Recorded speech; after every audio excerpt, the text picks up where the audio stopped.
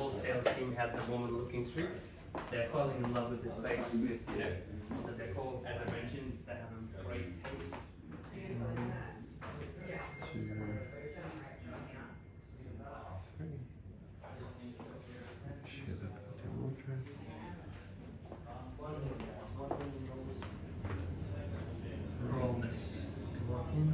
60.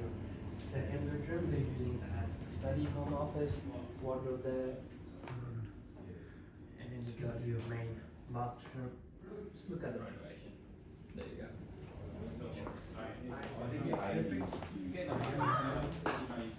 Okay, well, let's check that out.